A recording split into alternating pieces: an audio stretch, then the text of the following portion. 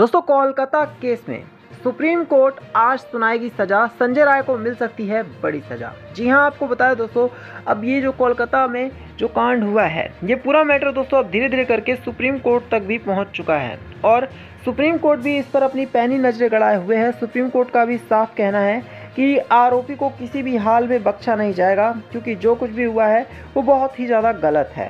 और एक doctor lady के साथ ये सब कुछ हुआ है।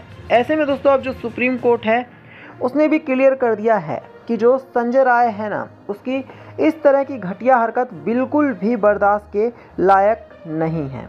अब संजय राय की दोस्तों, संजय राय के खिलाफ सारे के सारे सबूत को कलेक्ट किया जा रहा है। सुप्रीम कोर्ट ने साफ़ कह दिया है कि इस घिनौने संजय राय के खिलाफ जितने भी सबूत मिले, तुरंत ही इसे सुप्रीम कोर्ट में पेश किया जाए। जिसके बाद ये फैसला किया जा सके कि संजय राय को कितनी बड़ी सज़ा मिलनी है। दोस्तों, आपको बता दें, भारत का सुप्रीम कोर्ट अपने न्याय के लिए ही जाना जाता है। एक तरफ़ राजनीति हो और एक तरफ़ सुप्रीम कोर्ट हो तो हमेशा सुप्रीम कोर्ट की ही जीत होती है। ऐसे में अब न सिर्फ़ लेडी डॉक्टर के घर वालों को, बल्कि हर किसी को अब सुप्रीम कोर्ट से आस है कि सुप्रीम कोर्ट अच्छा और पुख्ता न्याय करेगा और इसके बाद ये भी क्लियर कर देगा कि आखिरकार ऐसे दरिंदे जिसने इस पूरे कांड को अंजाम दिया, उसे कौन सी सज़ा मिलनी चाहिए और कैसे उसे सख्त से सख्त सज़ा मिलेगी? दोस्तों, आप सभी कमेंट करके बताना कि सुप्रीम कोर्ट को ऐसे दरिंदे को कौन सी सज़ा देनी चाहिए जिसने इतनी बड़ी और घटिया हरकत को अंजाम दिया है।